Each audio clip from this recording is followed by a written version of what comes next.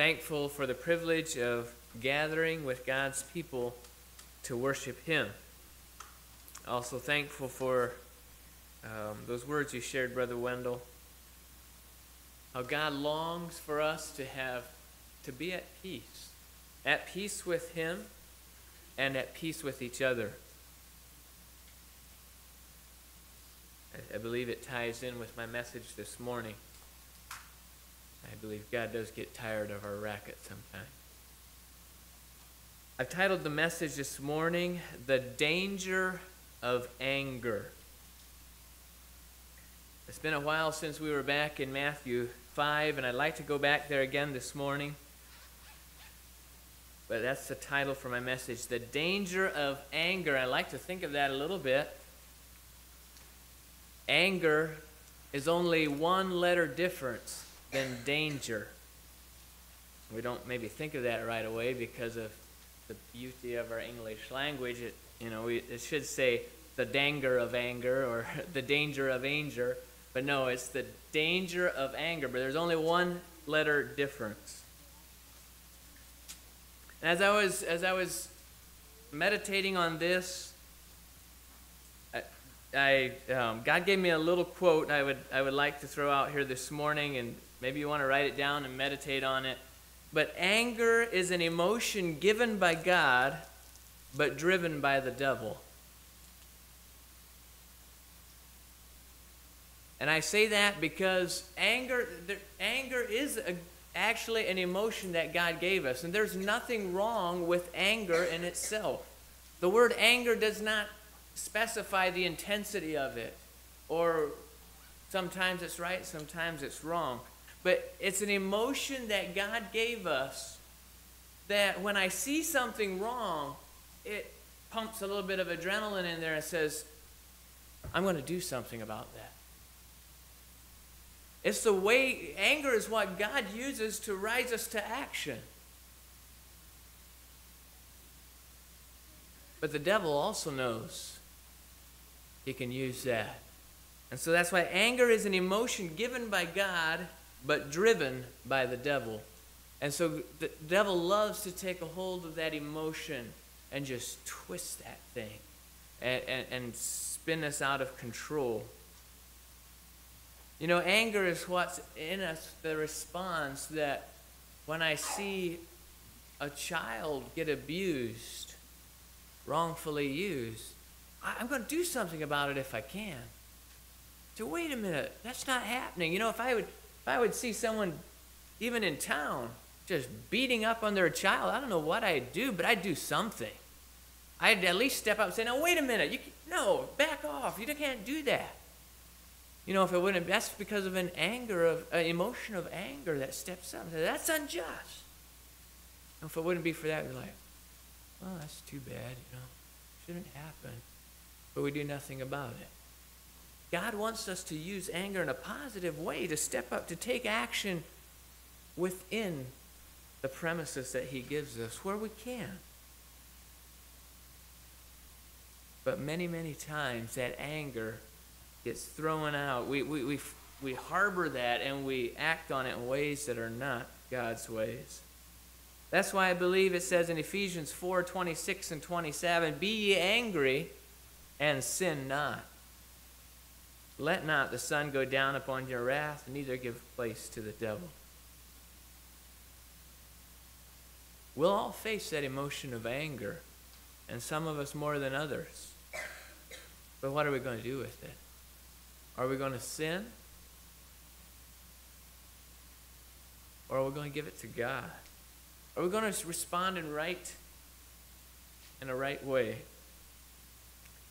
You know, I found as I was in the process of studying for this message, there was three specific times where I got I, I, was put to the test of anger. And the first one was, again, I'm sorry for being a stuck record, but it was with my sheep. Because I just moved them to a new pasture, right where they loved to be, where the grass was trimmed and just had a couple days of regrowth. They loved those new shoots. And as I drove out my driveway, I couldn't do anything about it. I had to leave. As I drove out my driveway, I look out there. This is like three hours after I moved him. And they're not in that pastor, they're in another pastor. And I admit there was some anger that welled up inside me. And I, I didn't yell, but I, I think I mumbled some things. And I definitely thought, I started doing some name calling, you know. And, and I'm not saying that's good. It's not a good thing. It's a, it's a problem I have. And then I had to stop and say, okay, wait a minute. And I actually decided probably the names I was calling them weren't even accurate. Because probably I should have called them intelligent and thick headed and maybe perverse. But I don't know. But anyway, that's the thing. That's a response to anger. And I had to check myself and say, wait a minute, what, what kind of a response am I having here? And I actually reminded myself that maybe it was an accident because maybe someone didn't see the fence. And I actually think that's probably what happened after, from what my son told me, where the fence was down. Probably was an accident. Probably someone didn't recognize the fence was there and went through it. And then, of course, everyone followed. But it was an anger. What am I going to do with it? How am I going to respond? And the other times I, I, was, I was faced with anger, it, it was totally a righteous anger. But I felt it well up inside me. And I had to say, no, wait a minute. I need some time. I need some time. I need some space. How am I going to respond? How am I going to respond to this? I believe it was Satan's way of trying to trip me up.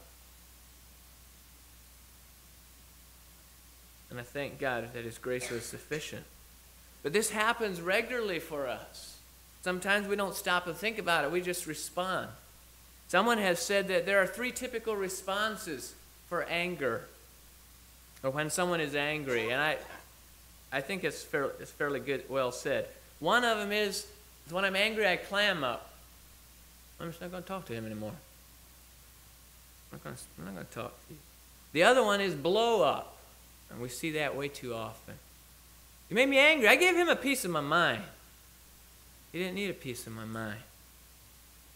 Blow up. And the third one is, it's an option, uh, it's the superior way to deal with anger, and that's to grow up. You know, we can learn. We can learn. We can stop. We can say, wait a minute. You know, maybe that wasn't right. But how am I going to respond? That hurt me. But let's think this through. How am I going to respond? Anger is an emotion given by God but driven by the devil. Psalm 71 uh, sorry, Psalm 7 verse 11 says God judges the righteous and God is angry with the wicked every day. God also has emotion. We were created in his image. But God has the right to be angry and he doesn't just get upset with people for no reason at all, but it's when they are set on their wicked way. When they're determined to go their own ways, when there's sin in their lives, it makes him angry. God is angry with the wicked every day. So, coming back to Matthew chapter 5, I'd like to remind us again a little bit of the setting.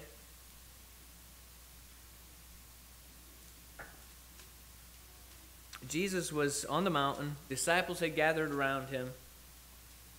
And and he was teaching them. I think there was a whole host of them. There was a multitude of other people that were listening in. They were wanting to hear what Jesus had to say. But there's something different about Jesus. He wasn't like another rabbi, like most of the other rabbis. His word carried weight and authority. He lived what he preached. He cared for the down and the out. He spent a lot of time with the publicans and sinners. And it seemed, it seemed like he was offering grace to them. But he spoke harsh and condemning words to the religious leaders. You know, the Pharisees, they accused him of breaking the law. They didn't think he kept the Sabbath like, that, that, like he should. You know, I, I think it's fair to say that there was probably some honest people, some people who really wanted to know truth.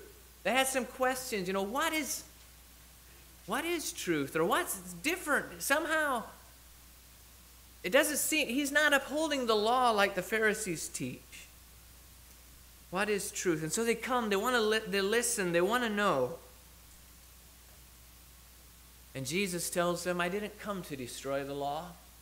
You know, the Pharisee says, I don't say I don't keep the law. He said, I'm not coming to destroy the law, but I'm here to fulfill it, and that's in Matthew 5 17. I'm not here to destroy, but I'm here to bring it to pass. I want you to understand the heart of God. He's calling us to holiness. And so in the, in the following verses, he gives us a number of very practical examples how he's taking the old law and the laws that the Pharisees upheld, and he's saying, This is the law. This is what you stand by. But this is what I'm telling you that it means. Lifting him to a higher standard.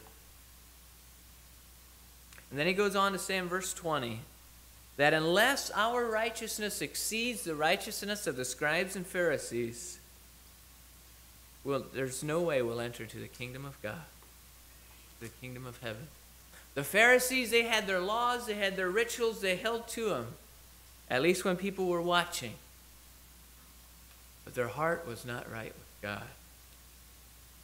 They were not doing because of a love for God, but because of whatever honor or what people thought. And I believe Jesus is bringing that out in these next verses. And so I'd like to read Matthew 5 21 to 26. And remember here, he's, he's really dealing with anger in a lot of these verses and bringing out the point that the seed of murder starts with the thoughts in our, in our minds. Verse 21 Ye have heard that it was said of them of old time, Thou shalt not kill, and whosoever shall kill shall be in danger of the judgment. But I say unto you that whosoever is angry with his brother without a cause shall be in danger of the judgment. And whosoever shall say to his brother, Raca, shall be in danger of the council. But whosoever shall say, Thou fool, shall be in danger of hell fire. Therefore, if thou bring thy gift to the altar, and there rememberest that thy brother hath aught against thee, leave there thy gift before the altar, and go thy way. First be reconciled to thy brother, and then come and offer thy gift. Agree with thine adversary quickly whilst thou art in the way with him, lest at any time the adversary deliver thee to the judge, and the judge deliver thee to the officer, and thou be cast into prison. Verily I say unto thee, that thou shalt by no means come out until thou hast paid the uttermost farthing.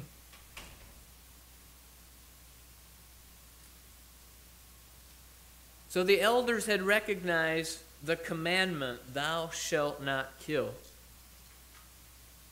They held to that. They said it was important. But to them, they felt justified. I haven't killed anybody, I haven't cut anybody's throat. So I'm doing okay. But in their heart, they harbored bitterness. They wanted to get rid of Jesus.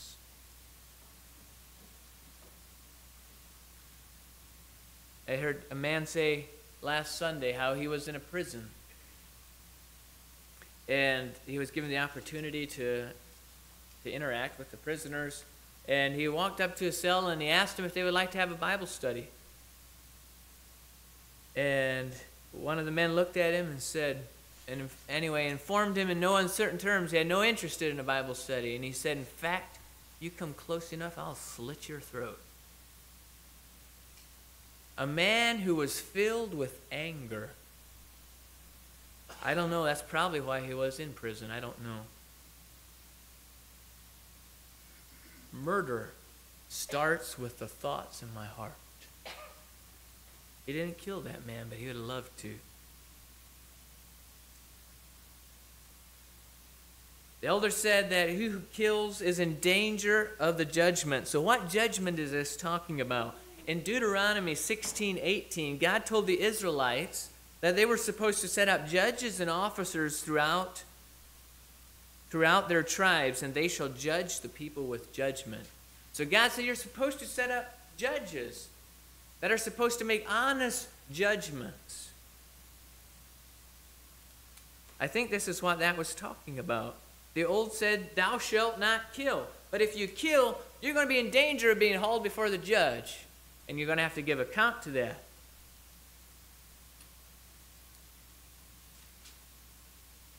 So, what was going to be the penalty for murder? In Leviticus 24 21, God had told the Israelites, And he that killeth a beast, he shall restore it, and he that killeth a man, he shall be put to death. God had made provision for the for the Israelites that if they accidentally killed a man, if they were chopping wood and the axe head flew off and killed their neighbor, they had killed innocent blood, and so the law required them to be killed, but they could run for the city of refuge. And if they made it to the city of refuge, their life would be spared because they had done it innocently. But if a man was angry with his brother and he goes and he slits his throat or he hits him over the head, the law provided no grace for that. They could run to the city of refuge, but once the judge found out what was going on, their, their life was, was to be killed. That was the law. Why was the penalty so high for killing a man? Genesis 9 6, God said, Whoso sheddeth man's blood, by man shall his blood be shed, for in the image of God made he man. Man is made in the image of God, man and woman. We're made in the image of God. And for a human being to say, you're not fit to live anymore, is an insult to God. It's an insult to the Creator who chose to make him. Not one of us were made by chance or by accident. But from the moment we were conceived, it was because of God that life began. God allowed the life to happen. He made life to happen. He chose life to take place. And from that moment of conception, if a man decides that that life is not worth living, whether it's a day old, two days old, an abortion, or whether it's an adult, it's an insult to God. It's an insult to the Creator who chose to give life, and it's an insult to God because that life was made in the image of God. And I'm saying you're not fit to live. You'd be better to die. God says the penalty is high. To take blood, man's blood, you give your blood for it. So someone might ask, well, then why? Then why were the Israelites commanded to kill their enemies? You know, in the Old Testament, God chose to use his people and he used the heathen nations to punish sin. God never destroyed a nation because he wanted more real estate. He didn't, he didn't just send the Israelites out to fight their enemies because he wanted more real estate for them. You know, I, we know we know what that's like. There's countries that do that. They go and kill their neighbors because they want their land. It's not why God ordered the Israelites to kill their enemies. It was because of sin. It was because of sin. It was always judgment of God on sin. I believe it was Abraham. God had told Abraham, He said, Someday this will be your land and your descendants will live here. But He said, Not now. Because the sin of the Amorites is not yet full. They're a sinful nation. They're walking away from me. But I'm not quite done. They haven't quite reached the point where I can't, I have to punish them for their sin. That time is coming. And then at that point, you will destroy them, and I will give it to you. God also, we also see God using a heathen nation to punish the Israelites when they rejected God and when they turned away from Him. We never see the Israelites lose a battle when they followed God. Never. No. It wasn't that God wasn't smart enough or not strong enough to deliver them. No. It was because they sinned and they walked away from God. That God required or worked things out so that their, their blood would be shed.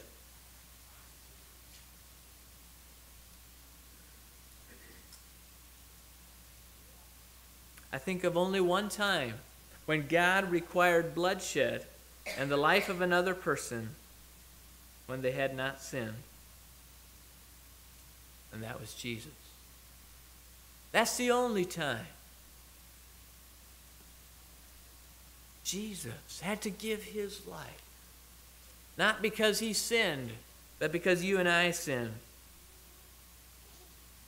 And he gave his life so that we could be redeemed, so that we could be reconciled back to God. God's heart cry this morning is that we be reconciled to God. That relationship would be healed again. And God's cry for us this morning is that our relationships would be restored with each other.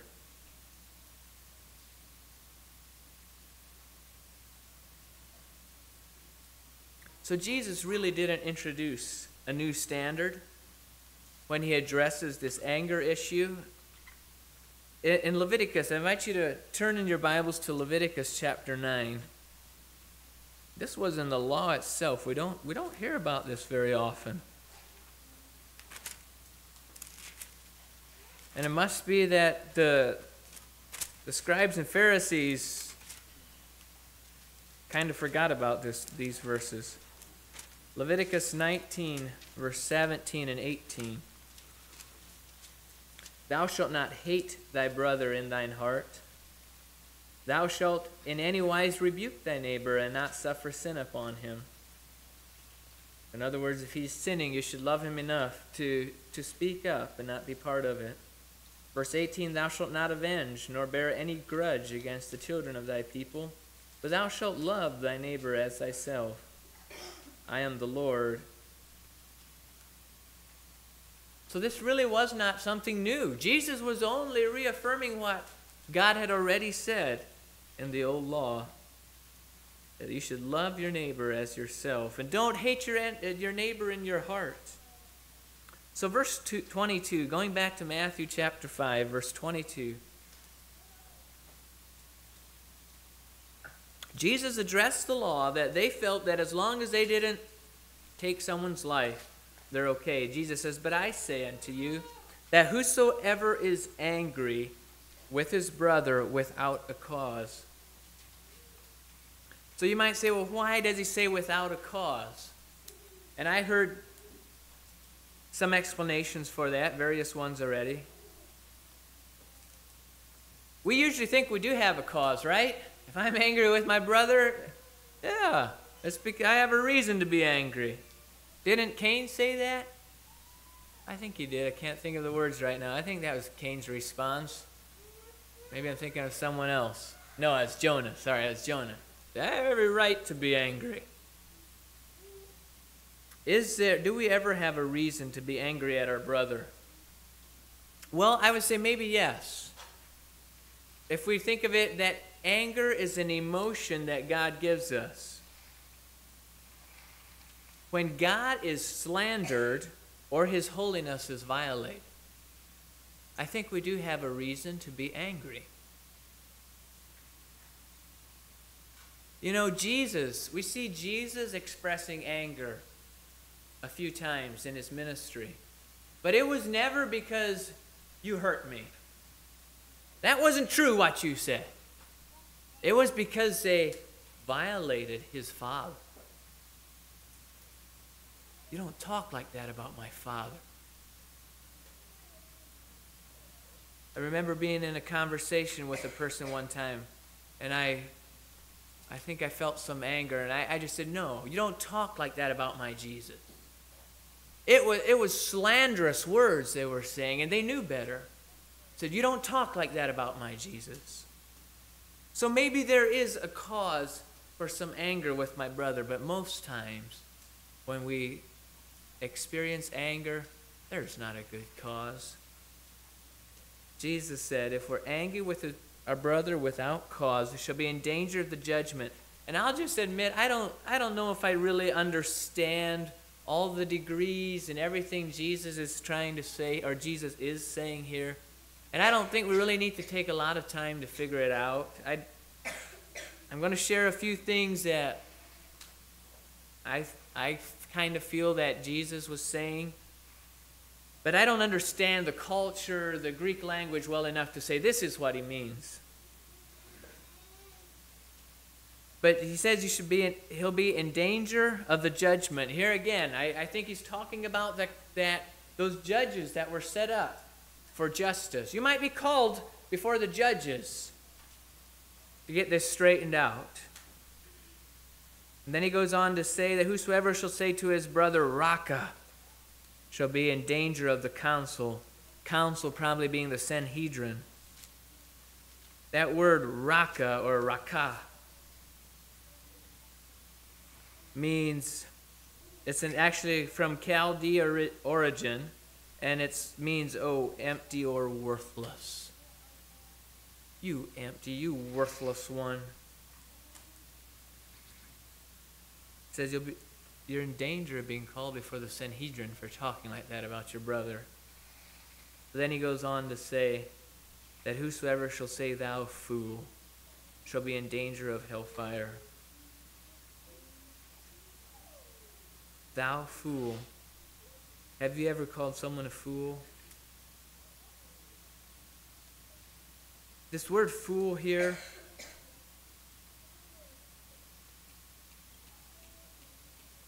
um, the word that Jesus here that's translated to fool is moros. That's where the word moron comes from. But it actually means to be dull or stupid as if it's it's shut up. You can't receive anything. You can't give anything.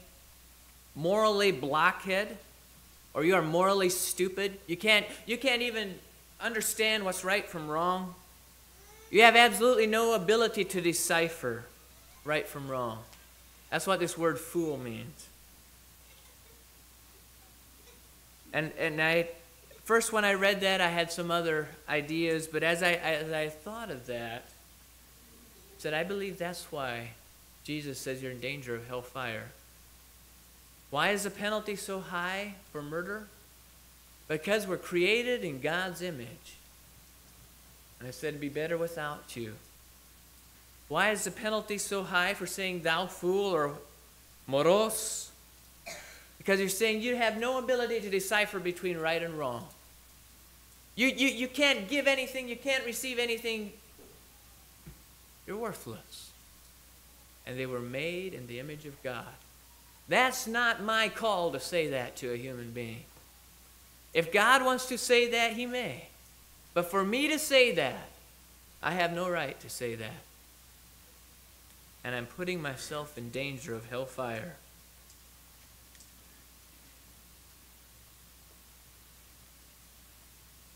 Now, what I do want to say with this verse, but to look at the degrees. Okay, so maybe I could get, get by with saying Raka. But don't say thou fool. If I am going to try to decide what words I can get by with in calling my, my brother, and what words are going to cost me hellfire, then my righteousness is no better than the righteousness of the scribes and Pharisees, and I won't make it to heaven. So that's what I say. I think it's well to try to understand what he's saying here. But if we're going to spend a lot of time trying to decide what's okay to say and what's not, then we have lost it. We've missed it. We've missed the heart of God. We've missed the heart of God. I'd like to also point out, because a question might come up well, if it says, if Jesus held the standard this high, then why does he call people thou fool? And why did Paul say, Oh, foolish Galatians?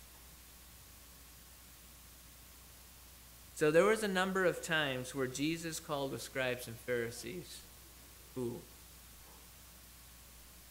But Jesus has the right to do that. He's the judge of the earth. Didn't he have the right to tell them, You don't understand. You don't even have any concept of what's right and wrong. Your mind is, is shut up. You can't even think straight anymore. Doesn't he have the right to say that? Absolutely, he does. He's the judge of the earth. He's the one they'll have to give account to. He was doing them a favor by telling them that. He was giving them a chance ahead of time that they could hopefully get their thinking straight. On the road to Emmaus, our Bible says that he called those two disciples, O fools and slow of heart to learn. That was a different fool. That was not moros. I don't think I wrote down what that one meant. But it was a different. I think I think if I remember right, that was uh, ano, anoetos, which means simply unintelligent, sensual, or unwise. It's a totally different different degree. And also when Paul says, "Oh foolish Galatians," it's not amoros, it's the other one. Because you're unwise, you're sensual, you're earthly. Think about God's ways. So I wanted to point that out. There is a difference.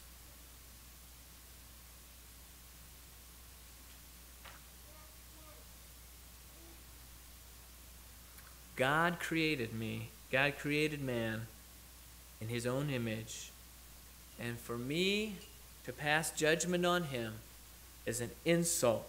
To say he's a fool is an insult to God and his creator.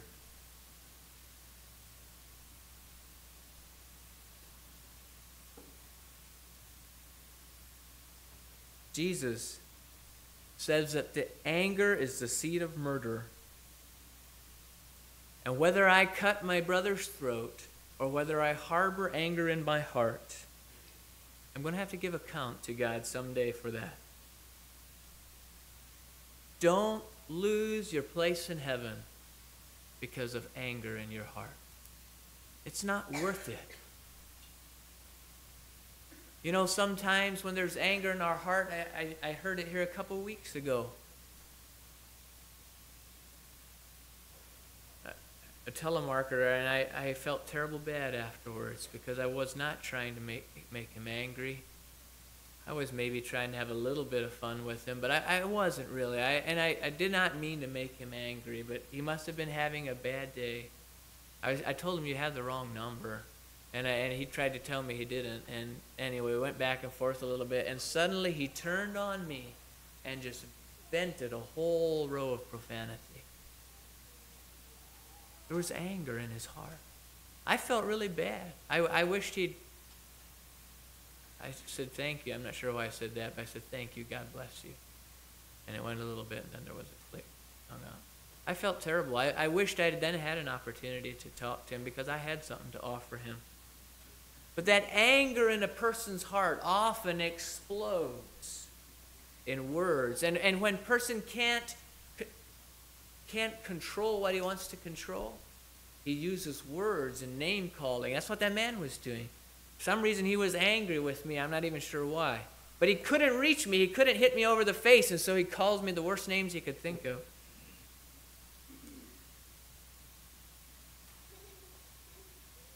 Anger in the heart will express itself in various ways. But God doesn't have room for that. Let's go on to verse 23. Here, Jesus flips a coin.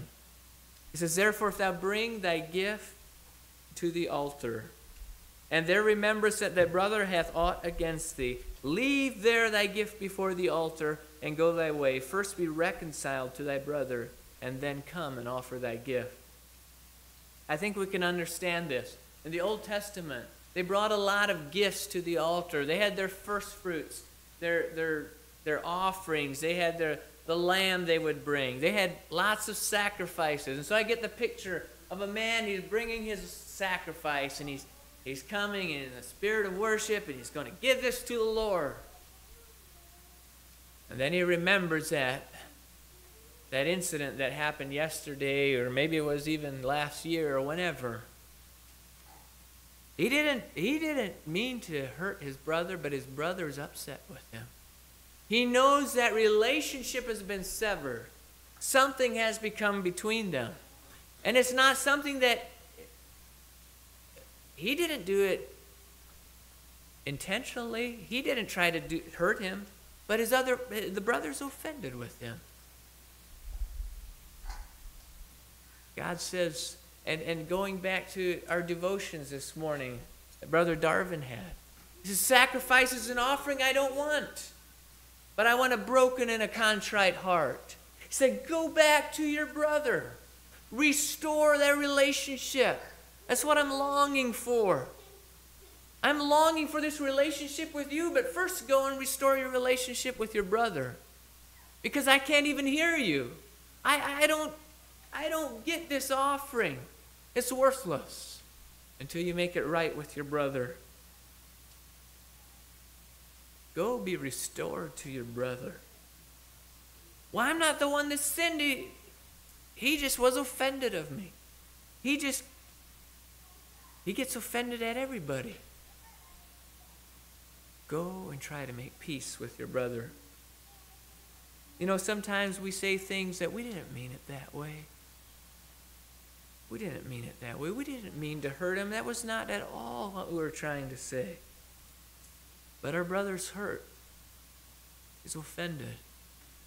Let's do our best to restore that relationship. You know, I will also say I've seen situations where someone hurt another person, and that person find, found it hard to forgive the one that hurt them. And the offender recognized the sin and he went back and he asked for forgiveness. And I guess somehow he thought that everything should be cleared. But it took time. And so he was troubled by that gap. And so he'd keep coming back and keep coming back and keep coming back. And it just festered the wound and it made it worse. And so I believe here if there's something I can do to bring healing to my relationship with my brother, let's pursue it. Let's do it. Let's do it before we, we can't get closer to God until we get closer to our brother. But if I've done everything I can, if I've gone back, I've apologized, I've done everything I know of, and it still feels like he has something against me, then leave it with God. Don't keep visiting it. Leave it to God. And go back and take your gift to God. But the passion here that Jesus has is that we be reconciled to our brother.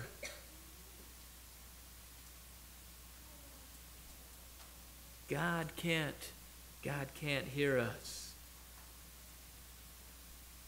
if we're not right if we're having broken relationships with our brother.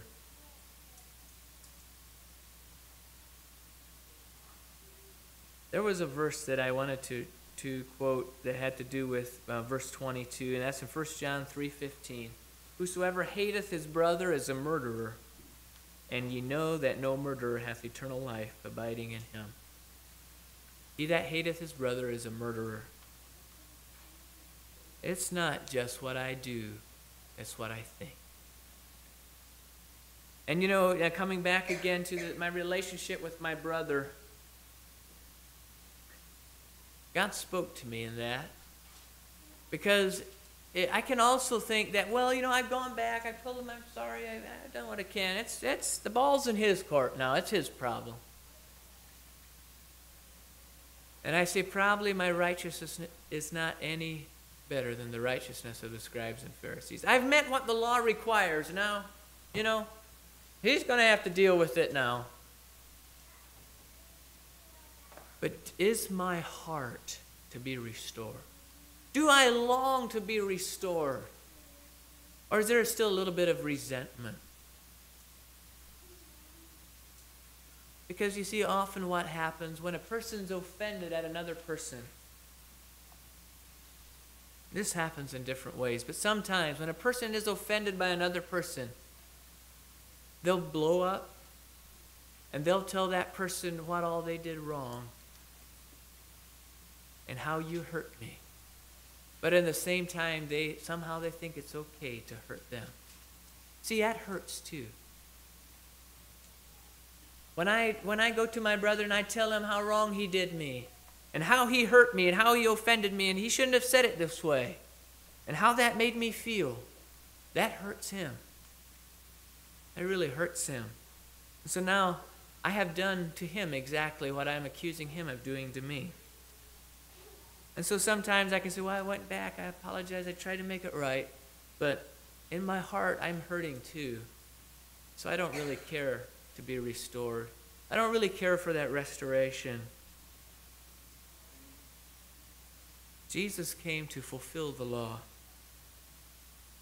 He wants us to be restored to our brothers. Don't let that anger, that grudge in your heart, keep you from heaven.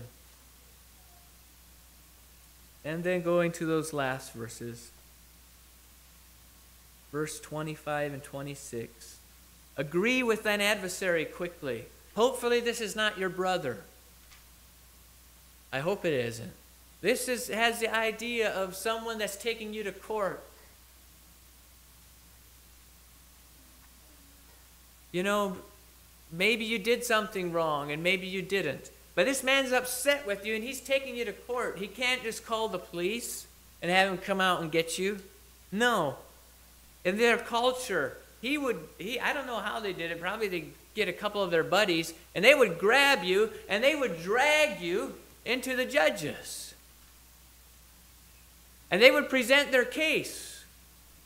And it depends what the judge decided how the outcome would be. And so as he's there, he's dragging you in. And he's saying, you know, you you stole my cow, you or you ate all my Sudan grass when your horses came into my field this morning. You destroyed my crop. says, agree with him quickly. While you're in the way, while he's dragging you, you know, down the path. Whenever you can, get a word in there. Say, please, sir, let's talk this out. And if you are guilty, you know, offer restitution. I'm sorry, I shouldn't have done that. I didn't think about what I was doing. You know, I'll pay you three times as much. While you're still in the way, don't wait till you get to the judge. Make reconciliation. And if you're not guilty, talk to him about it. Try to explain your case. Better to settle out of court. I mean, he might take you to the judge. The judge might say you're guilty. What does he say? And the judge would deliver thee to the officer. Then the policeman gets involved and you get thrown into prison. Try to settle outside of court, whether it was your fault or not, whether you're guilty or not. What is the typical response? I get angry. No, it's not true. I didn't do it. It's not fair. I'm being accused of these things.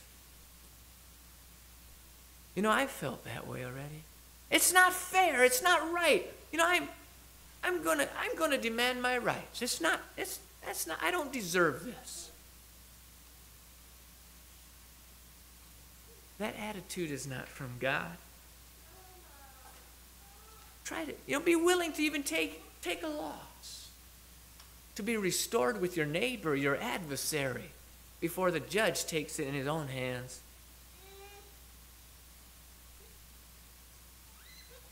God wants us to be reconciled to our brothers, to our neighbors. God is not only concerned whether we go out and cut our neighbor's throat, but He's concerned about our relationships. Love thy neighbor. Don't harbor anger in your heart. Don't let anger control you. Learn to take your anger to God. Anger is an emotion given by God. And some of us have to deal with it more than others. But learn to check your emotions, to take that to God. To say, wait a minute, I need time for this. I need to think this through. How does God want me to respond? That doesn't mean that we let sin go unpunished. Or, yeah, whatever we are called to do. That doesn't mean we ignore wrong. But it means we don't respond in anger. We stop and we make choices based on what God wants. We won't let our choices keep us out of heaven. Let's kneel for prayer.